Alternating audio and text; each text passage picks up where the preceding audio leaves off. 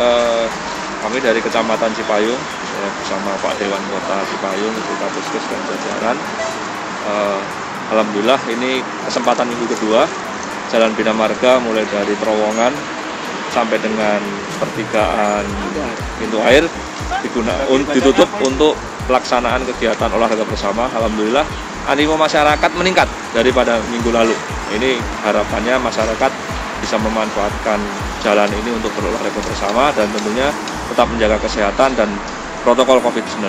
Memang kami menerima aspirasi dari masyarakat, tokoh masyarakat ya maupun dari teman-teman eh, tiga pilar juga memberikan masukan supaya jarak yang semula 1,1 km diperpanjang ya.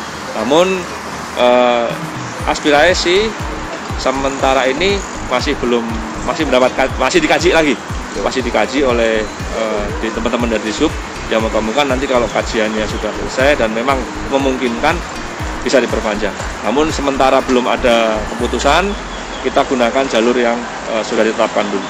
Ya kami sebagai warga yang di kelurahan sini juga eh, turut senang ya Pak ya karena nggak usah lagi jauh-jauh sampai ke Day di Sudirman.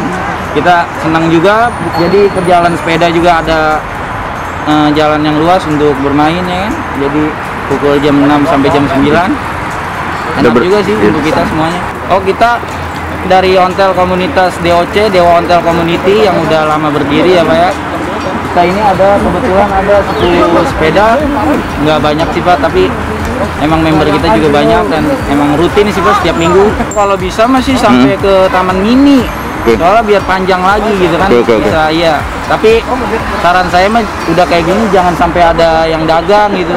Jangan ada yang dagang kan kayak gini udah enak. Kalau ada yang dagang kan untuk kita naik sepedanya udah nggak nyaman gitu